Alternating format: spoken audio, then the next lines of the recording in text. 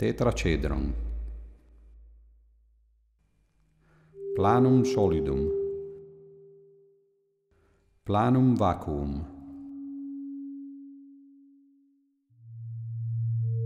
Abscissum solidum. Abscissum vacuum. Elevatum solidum. Elevatum vacuum. hexacedron sive cubus. Planum solidum. Planum vacuum.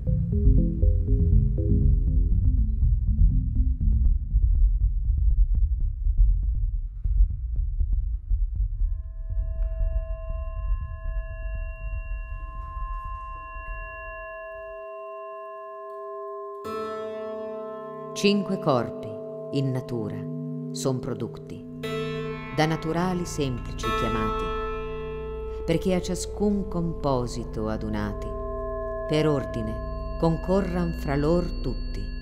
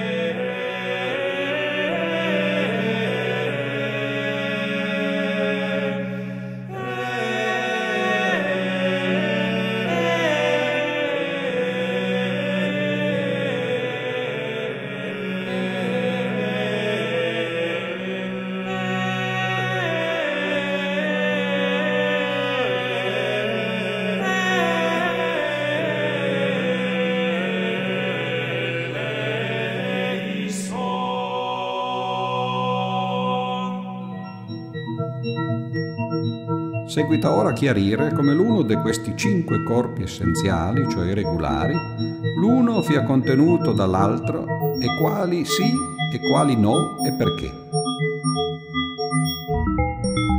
Onde prima del tetracedron parlando se mostra lui non potere per alcun modo in sé ricevere altro che l'octocedron, cioè corpo de otto basi triangole e de sei angoli solidi. Detto tetracedron nel cubo si collocherà in questo modo, cioè prima faremo il cubo secondo i modi dati, poscia, in cada una delle sue sei superfici quadrate, tireremo la diagonale, ovvero diametro, e sarà il proposito concluso come la prima del 15.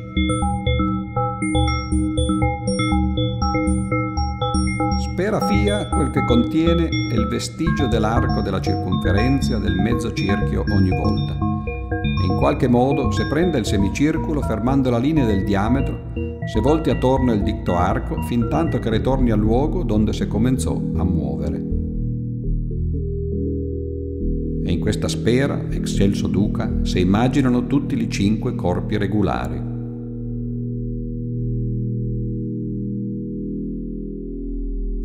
Platone fu costretto le prelibate cinque forme regolari ali cinque corpi semplici attribuire, cioè alla terra, aere, acqua, fuoco e cielo, come diffusamente appare nel suo Timeo, dove della natura dell'universo trattò.